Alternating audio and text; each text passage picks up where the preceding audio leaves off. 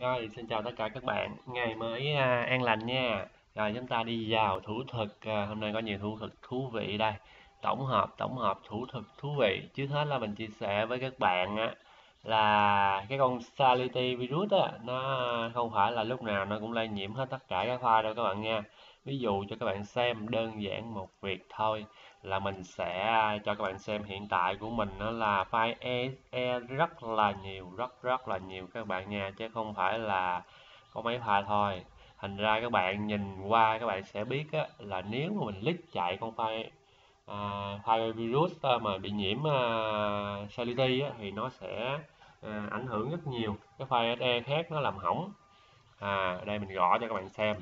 E ấy chấm exe đây đấy đó các bạn thấy không? Rất là nhiều nha. Đấy. Các bạn thấy không? Biết bao nhiêu dung lượng. Đó mình à, rút sơ sơ thôi. Đó rồi mình kéo xuống nè. Đấy các bạn thấy không? Rất là nhiều file quan trọng nha. Mà không phải tất cả các file này nó đều nhiễm ờ, uh, Solidity hết các bạn nha. Mặc dù mình chạy rất rất là nhiều. À, nếu mà nó nhiễm chính xác luôn cái file nào mà bạn muốn nó nhiễm á, thì có nghĩa là bạn chạy cái con Solidity đi rồi bạn click vô cái file SE đó thì khả năng cao là cái file đó nó mới bị nhiễm. Còn ví dụ bạn click cái con Solidity cho nó chạy rồi kích hoạt cho nó chạy rồi mà bạn chưa có click những cái file SE khác thì khả năng có những file nó tự miễn nhiễm. Rất là hay các bạn nha nó tự miễn nhiễm luôn chứ không phải là là file nào nó cũng nhiễm đâu. Và bằng chứng là sao? Bằng chứng là cho các bạn xem. Đây những cái ví dụ trước đó, các bạn nhìn video mình test đó là các bạn sẽ biết rồi. Đây mình ví dụ đây đây ha. Đây cái thư mục này. Mình cho các bạn coi cái ngày tạo nè. Đây cái thư mục này là ngày tạo đây. À, ngày à, 4 tháng 10 ha. Ngày 4 tháng 10 phải không ta? Đúng rồi ngày 4 tháng 10 năm 2020 lúc 18 giờ gần 19 giờ là gần 7 giờ tối các bạn nha. Đấy cái thư mục này tạo ra ngày đó và tất nhiên là những cái file trong này nó cũng có cái ngày tạo luôn. Đấy các bạn thấy không? Mình không có có có, có rảnh để để mình chỉnh ngày giờ hệ thống lại rồi mình mình làm mình tạo ra như thế này các bạn nha. Mình không có rảnh thật sự mình không có rảnh đâu nha. Rồi bây giờ đó là mình click cái file này nè. Mình chạy cho các bạn xem luôn. Đó, cái file này không có nhiễm virus ha. Đấy. Rồi à, tiếp đến mình sẽ nói cái thủ thuật hay của cái à, cái à, uh, Snappy Driver này luôn. Đó. Còn cái phần à, nãy giờ nó chưa chưa quét được hết tổng dung lượng luôn các bạn nó treo luôn mất tiêu rồi. Đấy. Rất là lâu các bạn nha. Đó các bạn thấy không? Sơ sơ là 37 mươi 37 GB file SE mà các bạn nghĩ đi mình click không biết bao nhiêu lần á, mình test á, là nhiễm virus rồi. Thậm chí á, đây mình mình để một ổ luôn. Xa dt đây mình để một ổ luôn cho các bạn xem nè. Đây. Đó một ổ Sality trong này luôn nè. Đây pha nhiễm Sality nè. Có nghĩa là đây mình mình test cho các bạn xem thực tế luôn nha. Rất là hay. Và cái win WinBE này mình cũng đề cao rất rất là cao rất là cao các bạn nha. Tại sao mình đề cao? Tại vì vì nó mà mình à, cài vô số ứng dụng mà mình thích mình cần.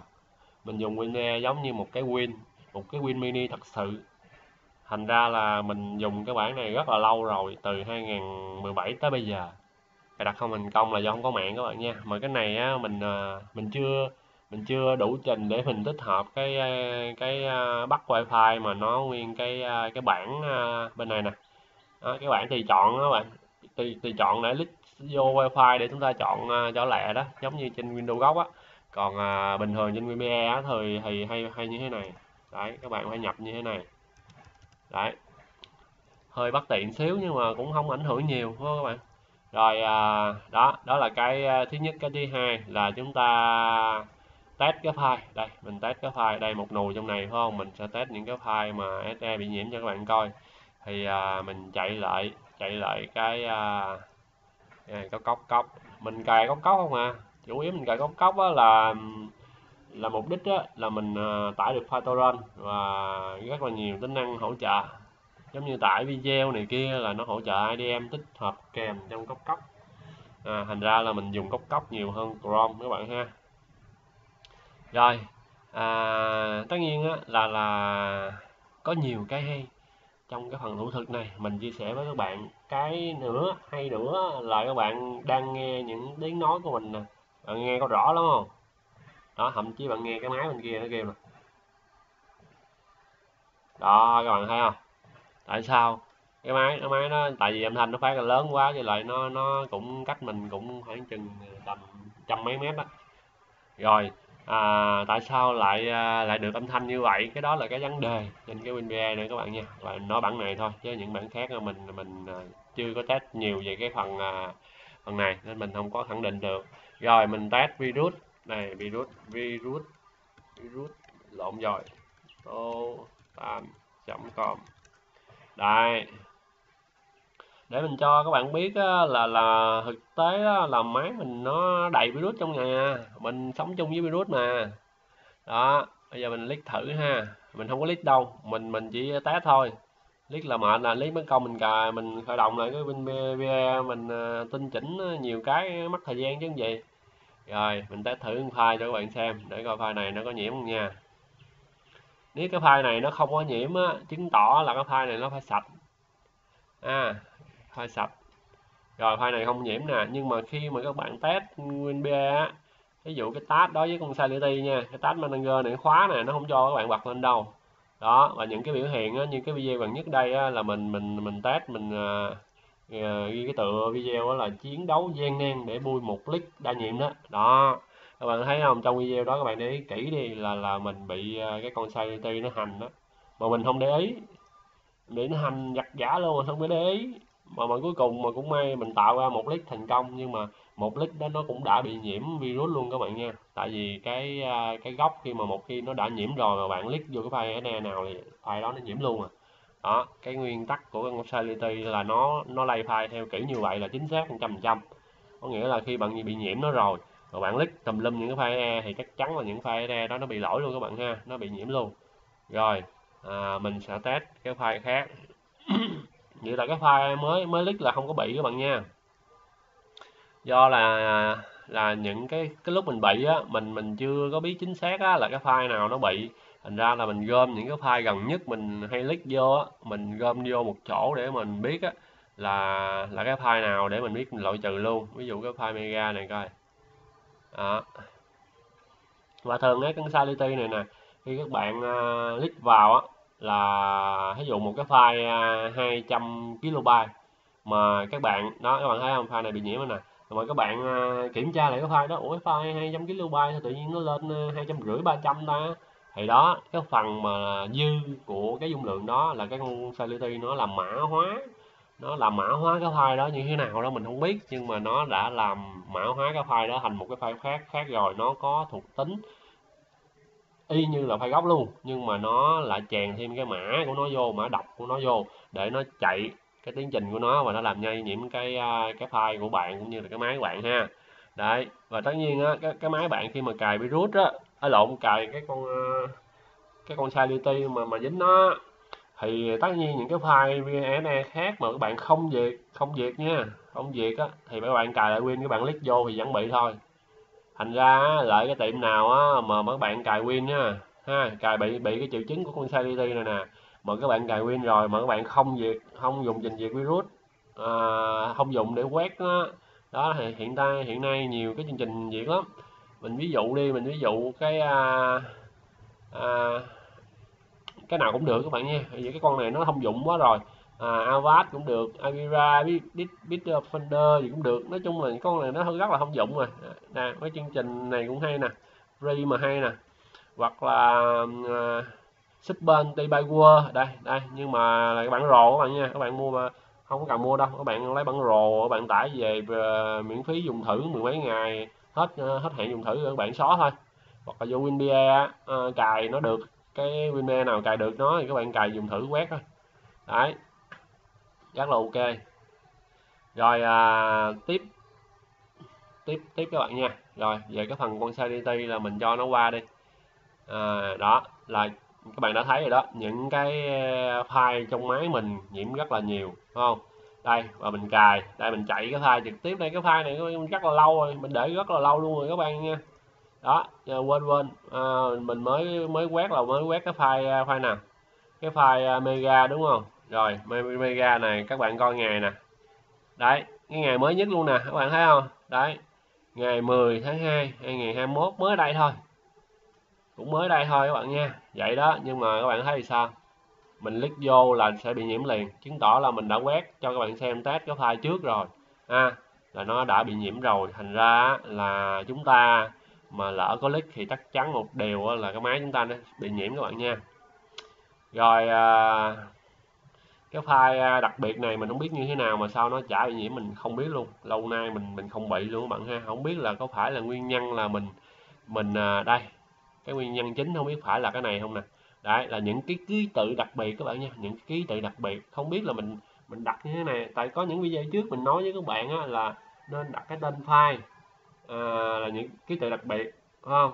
Hoặc là những cái thư mục ký tự đặc biệt thì có những cái con virus nó nó nó không có nhận dạng được những cái cái ờ, uh, file mà ký tự đặc biệt hoặc là cái thư mục ký tự đặc biệt thì có những cái con virus đó là do thì do cái cái cái người uh, họ họ thiết kế hacker họ thiết kế thôi.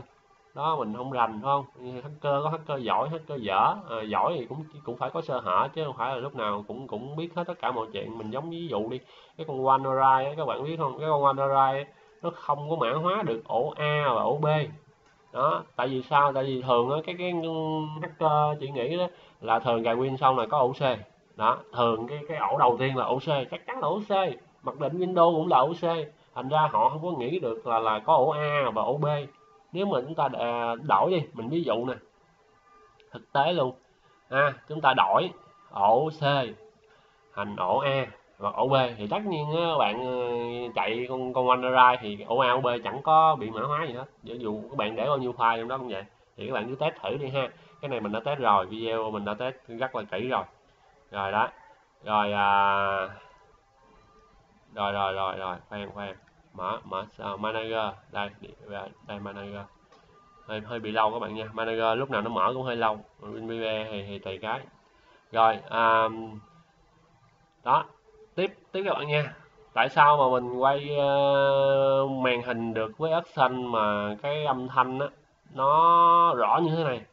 Thì đầu tiên á đầu tiên á chúng ta cài á đối với cái bản WinBE của mình nha. Còn những cái bản khác nếu mà các bạn cài được action á hoặc là bạn muốn cài âm thanh rõ ha hoặc là muốn cài âm thanh rõ à, thì các bạn áp dụng tương tự thôi có được hay không? Nhưng mà đối với cái cái à, máy của mình cũng như là cái WinBe mình đang sử dụng á, thì các bạn làm như sau các bạn trước nhất nhất á, chúng ta cài à, wifi. Nếu mà chưa có wifi cài wifi. Sau đó chúng ta cài à, cạc đồ họa. À, mình bầu chuẩn à, không biết. Chờ mình xíu nha để mình coi coi. À, đây. Đó. Cài à, ở đây có nè nó hiện nè cài uh, xong cái kẹt đồ họa cài kẹt đồ họa xong rồi chúng ta cài uh, action ha cài action các bạn nha. Có nghĩa là chúng ta cài cài đồ họa xong cài action hoặc là cài action trước đầu tiên cũng được. Nói chung là làm sao mà cài action trước hàng này. Đây các bạn thấy không? Cài action trước hàng này và cái hàng này nó phải cài đầu tiên nè. IDT nè IDT auto audio codec là nó phải cài đầu tiên là sau đó mới tới Intel display audio các bạn nha. Đấy theo trình tự là wifi rồi Intel HD graphics rồi à, uh, IDT audio codec rồi mới tới là display audio. Rồi cài xong rồi các bạn mới mở xanh lên các bạn tinh chỉnh gì các bạn tinh chỉnh.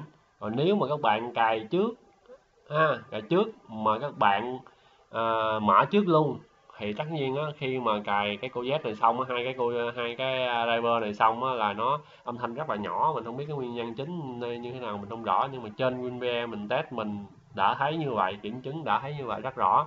Thành ra các bạn có thể áp dụng trên cái WinVR khác nào mà chúng ta nghe âm thanh nó nhỏ quá nghe âm thanh nhỏ quá mà vì các bạn cài Bandicam hay là cài uh, SBC của không ta? Hay ABS cái chương trình gì à, OBS gì mới mới các bạn? Quay à, màn hình đó để mình kiểm mà à, tại vì mình ít xài cái chương trình đó lắm. Tại cái chương trình đó thứ nhất là cái chương trình free và nó nó không có nổi tiếng bằng Action thành ra là mình không có gài. À, mình xài Action cũng quen rồi. À, với lại à, may mắn là tìm được cái file à, giống như cái file rắc các bạn. Nhưng mà nó nó chạy rất là ok nó cũng không phải à, bẻ khóa phức tạp này kia chỉ cần lít là chạy thôi thành ra rất là dễ. Rồi cái chương trình quay màn hình nó đâu ta? Đây OBS Studio các bạn nha. OBS Studio. Thì à, hiện nay đó là anh em các anh em trên mạng đó là hay xài các bạn đó. À, nhưng mà mình đánh giá xanh cao hơn. Tại vì mình xài xanh quen rồi. Đối với mình thôi nha. Còn các bạn à, tùy tùy các bạn sử dụng như thế nào thì các bạn rồi thì à, tóm lại video này là mình tính nói ngắn thôi mà mà phân tích như dài dòng quá thành ra nó nó hơi dài các bạn thông cảm nha. Rồi à, nhất là virus stability ha à, những cái uh, ưu điểm cũng như cái nhược điểm cái cái file này à quên chính xác luôn cái file này bị nhiễm các bạn nha. Đấy các bạn thấy không? Không phải là là mình nói vấn đề này là mình nói không bị nhiễm hết mà có một file nhiễm và cái file mà không bị nhiễm cái file ờ, uh, x86 thì nó lại bị nhiễm ngộ. À, cái file driver x86 này nó bị nhiễm nè. Nhưng mà file 64 bit thì không bị. Đâu rồi đây. File này bị nhiễm này các bạn nha. Chắc chắn trăm trăm bị nhiễm nha. Rồi à, mà cái file x64 lại không bị các bạn thấy lạ không? Đó mới vô là cái đây nè. Đó. Đó là cái điều lạ thiệt là lạ. Nên mình mới chia sẻ với các bạn.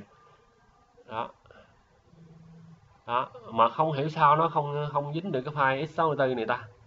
Ừ, cái tên này nó cũng có khác gì đâu nó cũng dấu gạch giống nhau nè đặt ký tự đặc biệt cũng có khác gì đâu.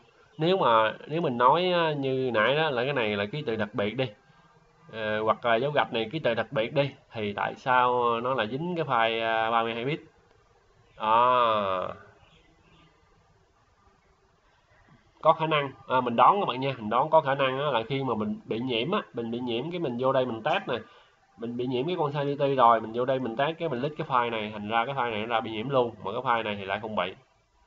Đó, các bạn thấy không? Rõ ràng đây là bằng chứng bằng chứng xác thực trăm trăm là là cái file cái file à, này bị nhiễm mà cái file kia không bị nhiễm. Các bạn thấy không? Có nghĩa là con sanity không phải là lúc nào nó cũng cũng lây theo cái kiểu là tràn lan có nghĩa là nó nó dính vô máy rồi không phải là cái nó nó dính hết tất cả các file SE mà là khi các bạn click vô á bị dính rồi click vô file nào thì khả năng file đó nhiễm rất là cao. À, mình đã tìm ra bằng chứng các bạn nha. Còn cái việc mà các bạn cài lại win rồi á mà cái file này đi các bạn click vô lại thì nó vẫn bị nhiễm thôi vẫn bị nhiễm bình thường thôi.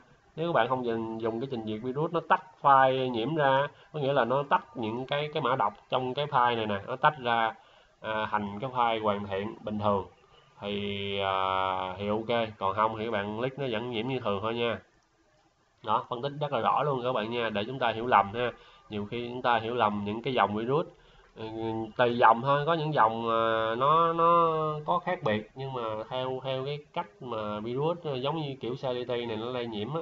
Lây nhiễm file SE mình nói riêng file SE thôi. Thì nó lây nhiễm theo cái cách đó là thông dụng nhất còn những cái con mà mã hóa thì thu các bạn nha. Mã hóa thì khi mà nó gặp cái file nào mà nó nó thuộc cái ờ, cái món ăn của nó rồi á thì nó nhai hết à. Chứ nó không có từ cái file nào cho các bạn nha. Rồi. Rồi à, video này thì xin kết thúc à, hai vấn đề chính là là chúng ta nói rõ về cái con CDT cũng như là chúng ta phân tích thêm về cái việc mà chúng ta tích hợp cái à, âm thanh để cho nó phát ra ghi âm cũng như là dùng trong cái win cứu hộ nó hiệu quả hơn các bạn ha. Đấy thì à, mình cũng đang nâng cấp cái một lít một lít thì mình chia sẻ với các bạn rồi. Đây một lít cho các bạn xem. Tester thôi còn video sau mình sẽ test cái, cái này là chính. Cái mặc định là mình đã load uh, cái WinBA thôi thôi để video sau mình nói đi. Mình lít cho các bạn coi chơi thôi. Video sau mình phân tích hơn trong trong cùng một uh, buổi luôn mình sẽ làm hai cái video các bạn nha. Rồi đó các bạn thấy không? Nó tạo ra rất là nhiều cái uh, cái file. Thì chúng ta có thể click vô vô số luôn. À, đó các bạn thấy không? Đó mấy cái này là chạy được hết nha. Đấy. Cái này chạy uh, file ấy nữa nè. Đó. Đó thôi video sau mình phân tích đi. Rồi cảm ơn các bạn đã theo dõi video. Xin chào và hẹn gặp lại các bạn trong video tiếp theo. Bye bye.